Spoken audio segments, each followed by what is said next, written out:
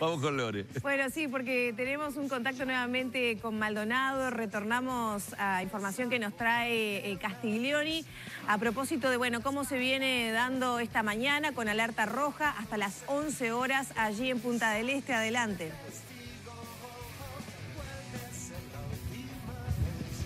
Lo que sí les digo es que está bravo para leer revistas acá donde estoy yo, ¿eh? Esto sí está complicado, complicado. Complicadísimo. Eh, el viento en este momento, tenemos rachas de hasta 85 kilómetros y eh, la estabilidad del viento anda ahí en los 50 kilómetros. Así que acá para leer revista está un poquito complicado. Y hacer crucigrama ni les cuento. Pero bueno, eh, de acuerdo a lo que eh, va transcurriendo las horas, no ha cambiado demasiado lo que tiene que ver con la situación de Punta del Este, por ejemplo, sigue estando estabilizado, ha aumentado un poco el viento, pero en cuanto tiene que ver a eh, hechos, únicamente se cayó allí en Torre del Triángulo una parte de la mampostería, algunos ladrillos que cayeron sobre techos de un local, no mucho más, un árbol caído, no mucho más, eh, por suerte. Hasta este momento la actualización será a las 11 de la mañana. Pero para eh, que nos dé un panorama de lo que ha sido el departamento y está siendo el departamento de Maldonado, hemos convocado al secretario general de la Intendencia Departamental de Maldonado, el doctor Diego Echeverría, presidente del SECOED departamental para saber, eh, doctor, cómo y de qué manera se encuentra el departamento a esta hora. Buen día y gracias por venir. Buen día, un gusto.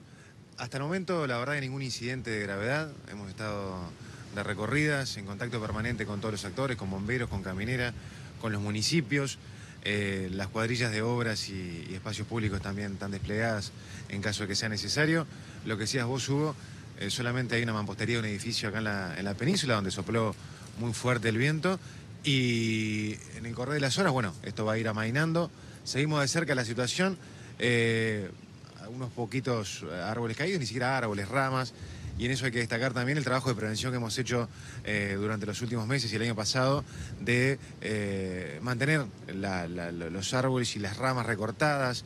Todo ese trabajo creo que, es importante porque si no con estos vientos en años anteriores teníamos mucho más impacto. Y yo creo que ese trabajo de prevención de, de descopado de los árboles ha, dado sus frutos y, y- y en el día de hoy las cuadrillas nos informaban que eran muy pocas las situaciones de tener que recoger este, algún tipo de, material de los árboles. Así que bueno, siguiendo cerca la situación, tranquilos, ningún incidente de gravedad. eh, y bueno, eh, este fenómeno climático se está corriendo hacia, hacia el este, se está yendo. Empezó en la madrugada, las 2 de la madrugada por zona oeste, eh, siguió eh, a eso de las 5, las 6 y hasta ahora acá en la, en la costa y se está yendo hacia el este. Así que bueno, seguimos de cerca la situación, atentos y con el comité de emergencia desplegado en caso de que sea necesario. Eh, doctor, gracias, muy amable. ¿eh? Un gusto, a las como siempre. Bueno, eh, compañeros, esta es la situación aquí eh, en el departamento de Maldonado, esta es la situación ahora que les está mostrando Fernando Machado aquí en la zona de Playa El Emir. Y como les decía el doctor eh, Diego Echeverría, se está yendo toda la tormenta hacia el este. Fíjense, en este preciso momento Fernando les está mostrando lo que es el este, bueno, se está yendo toda la tormenta hacia el sector de eh, Rocha, el este de país. Eh, no sé si ustedes tienen alguna consulta o pregunta por allí en estudio, si no, vamos cerrando desde aquí, desde Maldonado. Hugo, rapidito porque ya no tenemos tiempo, pero ¿dónde fue que se cayó la mampostería, la Torre Triángulo, decías? ¿En qué zona es?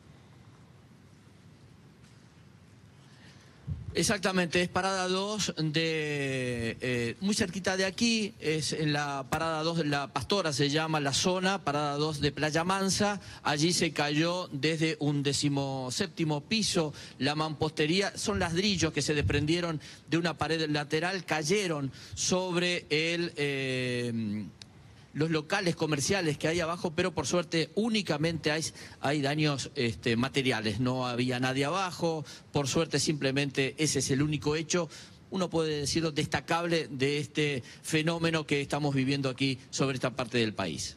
Muchísimas gracias, Hugo. Gracias, Hugo.